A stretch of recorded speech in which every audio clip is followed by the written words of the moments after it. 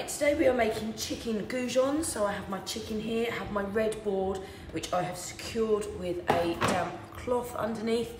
And here I've set up my production line. So on here, I'm gonna have my flour. Then I will have my egg.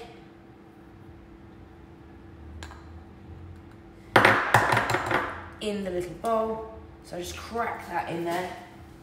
And then get a fork beat the egg. Now I'm going to show you some different toppings, okay? I've got um, cornflakes, which I'm going to crunch up. I've got some breadcrumbs, okay? And I've also got some oats. Let's just turn that around a little bit. There we go. So, breadcrumbs I'm just going to put onto a piece of paper. Now the reason I'm using paper is to save on washing up. Okay, then we've got some oats here. Don't think we want cinnamon. And cornflakes. Get a rolling pin to crunch them up. Now cornflakes might seem a little bit weird, but I can assure you, very, very tasty. Um, alternatively, you could use crisps. Okay, crunch up crisps and use that as a coating. So the process that we, that you, or I'm going to show you, and that you're going to do is enrobing. Okay, where the chicken or, or even halloumi or fish, um, covered in flour, uh, dipped in egg, and then in the coating. So, let's see if we get some flavours. So to my um, breadcrumbs, I'm going to add some herbs, and to the oats and cornflakes, I'm going to add a bit of paprika. Okay, just get that mixed up nicely with your fingers. As you're going to be doing this at home, you could do three coatings if you wanted to. Entirely up to you.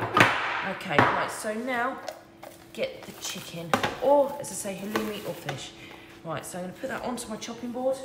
Give my hands a quick rinse.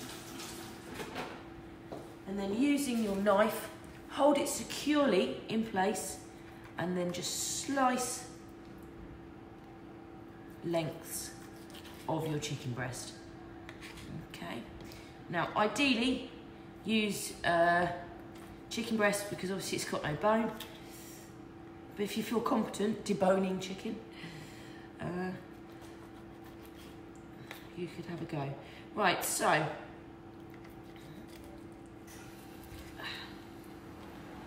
there's a bit of sinew in there. See that little white bit there? I don't really want that. So I'm just gonna chop that off, put it to one side. Uh, right. There we go. Right. One, two, three. Six. Right. The enrobing, okay, as I say, got my production line here with my tray at the end. Now, so we don't get any um, chicken around the taps, we're going to use one hand and the other hand goes behind our back. So I'm right-handed, so I'm to use my right hand, so my left hand's going to go behind my back, and you'll see why this happens in a minute. So pick up your first piece of chicken, coat it in the flour, then coat it in the egg, and then I'm going to stick it in my breadcrumbs. Right, onto the tray. Next piece of chicken in the flour, in the egg, again in the breadcrumbs, onto the tray. Don't worry about them being too, very close together, it doesn't matter because they're not going to swell in the oven and join up. So again, in the breadcrumbs and onto the tray.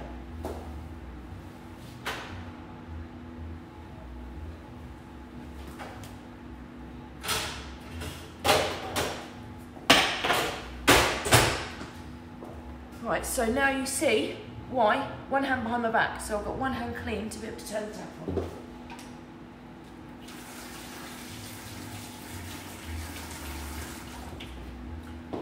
Right, so ready to go again. Let's tuck that sleeve in there. Right, so hand behind my back, piece of chicken into the flour, into the egg, and now we're going to go with the oats.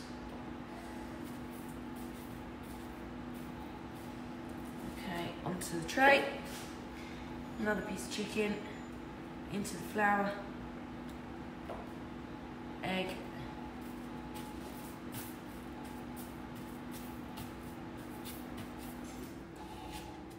breadcrumbs, uh, piece of chicken into the flour, coated in the egg, and then we get into the oats.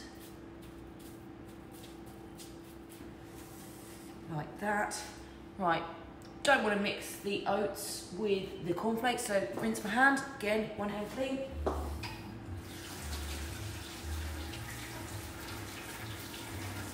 Right, again, hand behind my back, last three bits of chicken, so into the flour, into the egg, and then we go into the cornflakes, making sure nicely evenly coated and onto the tray. Flour, egg,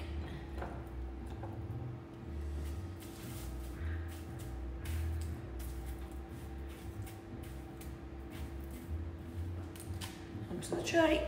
Last piece of chicken, coated in the flour, egg, and then cover cornflakes all over. Okay, into the tray. Right, now rinse my hands.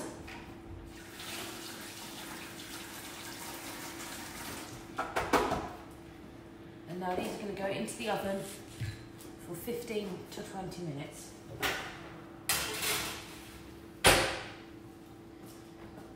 Right, we'll be back.